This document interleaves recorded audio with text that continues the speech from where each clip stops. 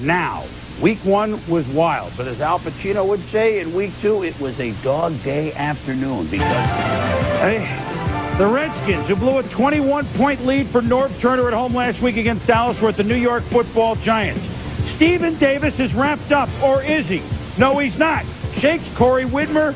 Tommy, three first quarter touchdowns by Davis. It's 21 nothing skins of the Meadowlands. Outstanding running effort here from Stephen Davis. Widmer has him wrapped up, but he keeps the legs turning, gets to the outside, and you've got eight Giants in that pile, so there's only one guy left in between him and the end zone. Well, Washington has proved that a 21-point lead is not safe. However, Shawn Barber shades Kent Graham right here, and he could go all the way 70 yards.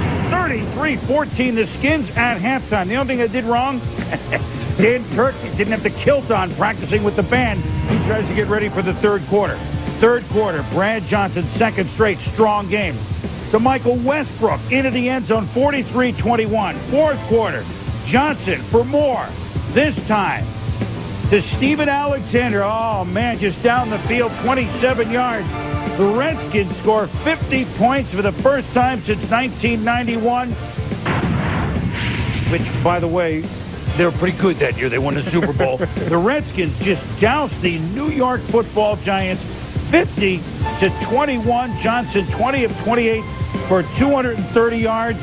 And I tell you what, Tommy, we talked about it last week as you look at the numbers, and it's all Washington.